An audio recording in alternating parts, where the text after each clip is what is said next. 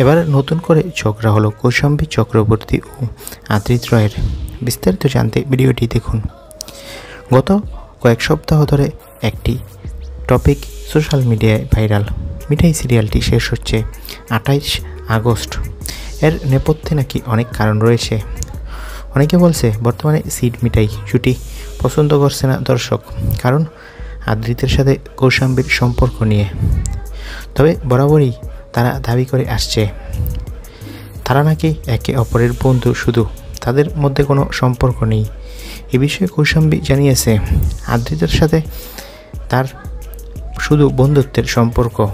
এর থেকে বেশি কিছু নয়, আর বর্তমানে তাদের তেমন একসাথে দেখা যাচ্ছে না। তো বন্ধুরা, তাদের সম্পর্ক নিয়ে আপনাদের মতামত কি? কমেন্ট করে জানান। আর মিঠাইয়ের ভক্ত হয়ে থাকলে আমাদের চ্যানেলটি সাবস্ক্রাইব করে রাখুন। ভিডিওটি দেখার জন্য সকলকে অসংখ্য ধন্যবাদ।